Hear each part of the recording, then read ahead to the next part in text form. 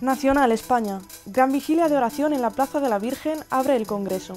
Con una gran vigilia de oración en la Plaza de la Virgen de la ciudad de Valencia, el viernes 20 de octubre iniciará el primer Congreso Interdiocesano de Educación, La Educación, un reto a los padres, a la Iglesia y la sociedad, organizado conjuntamente por las diócesis de Segorbe Castellón, Orihuela Alicante y Valencia.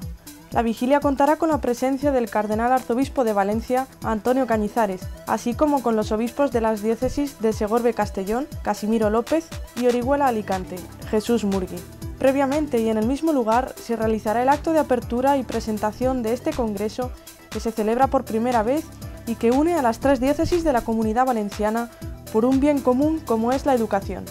Tal y como explican desde la organización del Congreso, para asistir a la vigilia no es necesaria inscripción, la celebraremos en un lugar público y emblemático de la ciudad y os invitamos a acompañarnos y disfrutar de este momento de oración, pero también lúdico y festivo, en el que daremos gracias al Señor por este momento propicio de encuentro que constituye el Congreso.